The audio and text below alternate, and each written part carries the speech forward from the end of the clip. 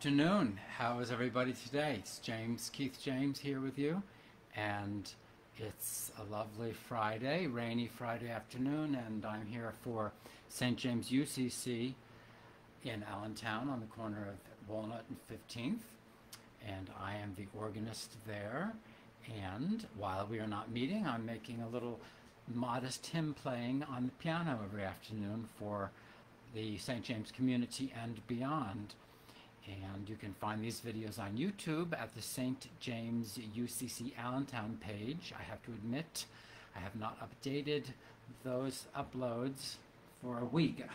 And um, I've been kind of swamped.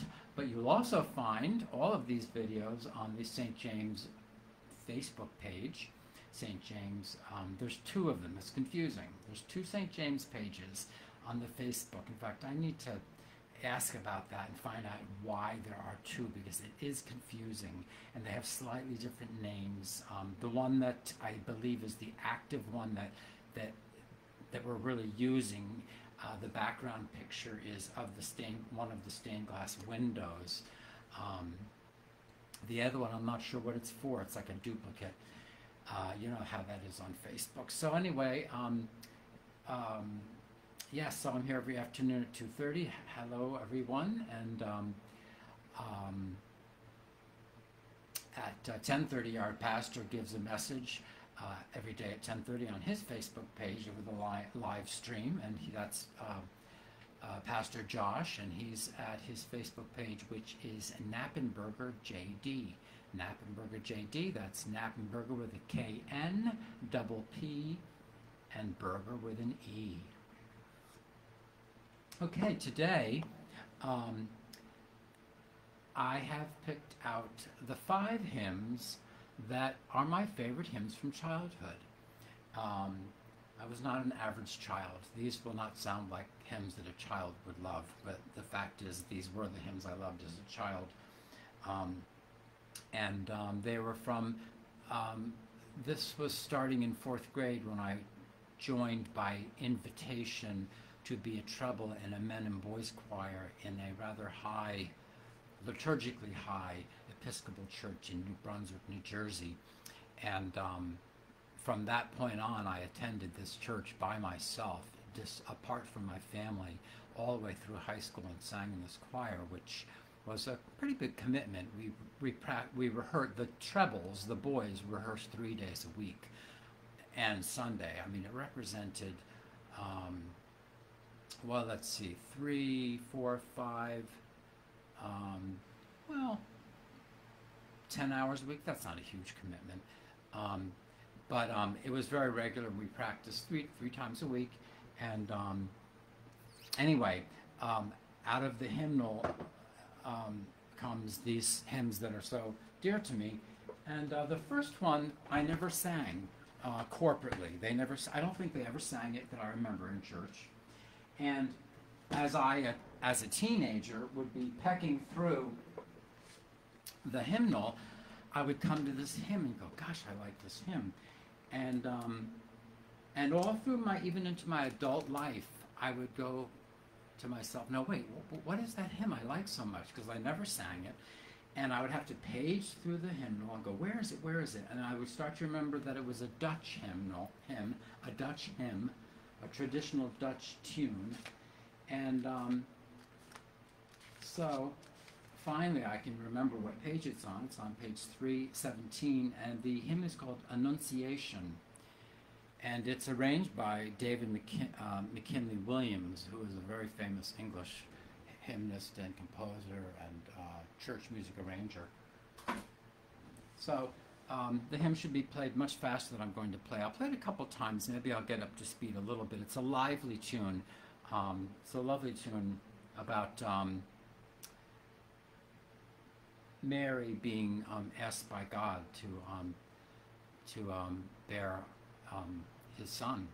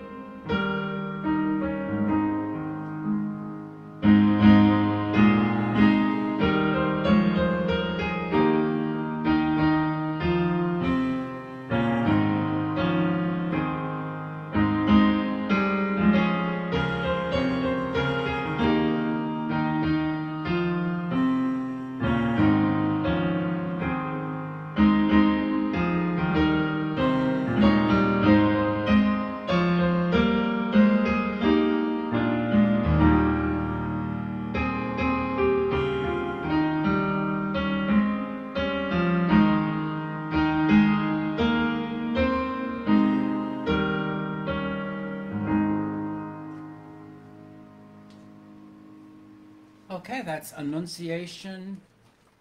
The title of the hymn actually is um, Annunciation, a message came to a maiden young. Okay, our next hymn, and the next of my five favorite hymns from the hymnal growing up, is Morning Song. Okay, this song we did sing at church. I would say we sang it once a year. Um, we didn't sing it a lot, maybe twice a year. Not a whole lot, but it always um, was a favorite of mine. And I've known this page number since uh, since middle school. Always known known the page number to this hymn. Morning song.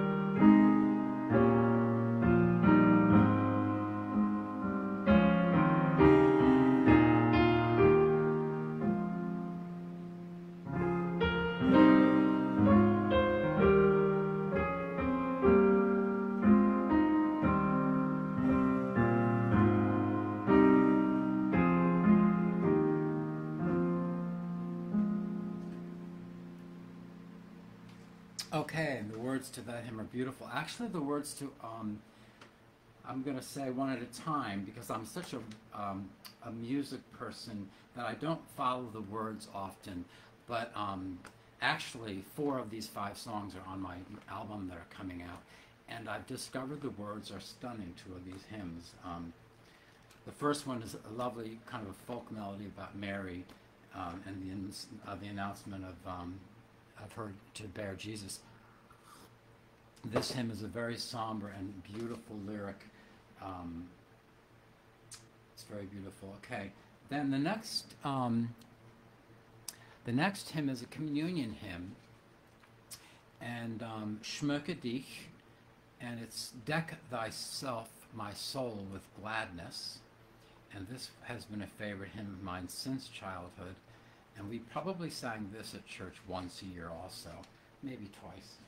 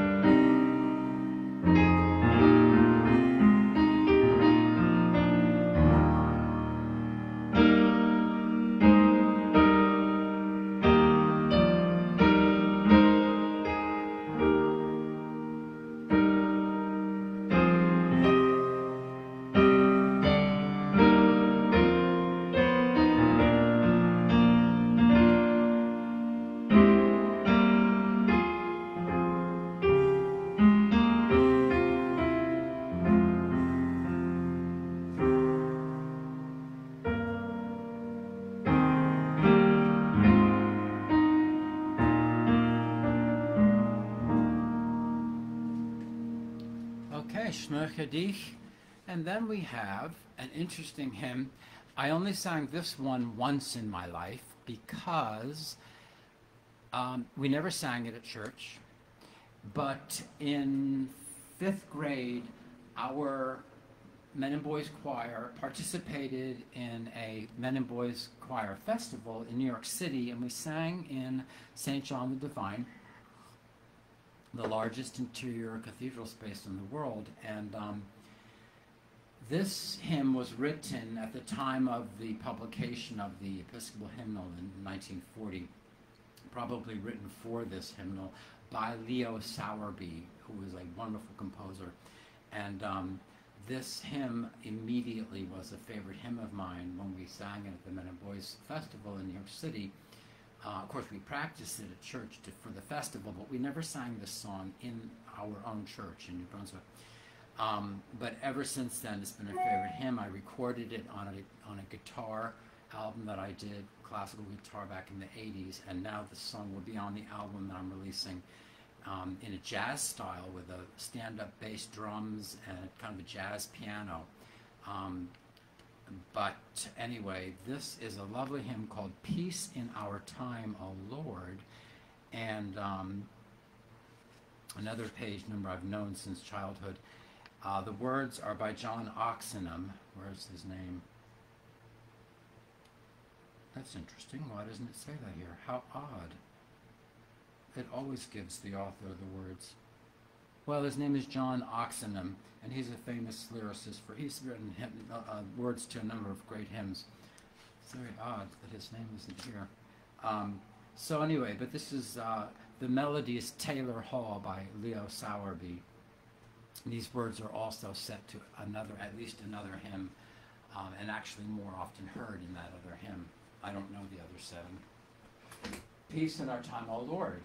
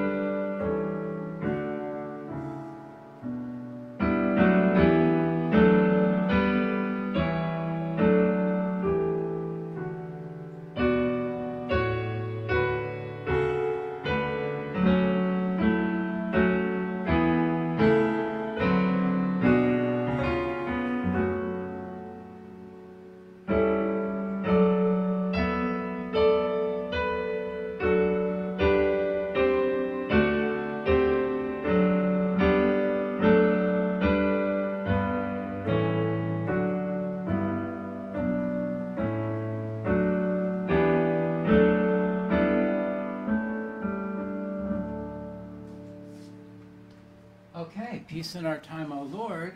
And our last one is set to many different word settings because it's such a famous melody. Um, and the word setting that many people know is Alleluia, sing to Jesus. We sing this one at St. James. I'm not sure what words we use for it. Um,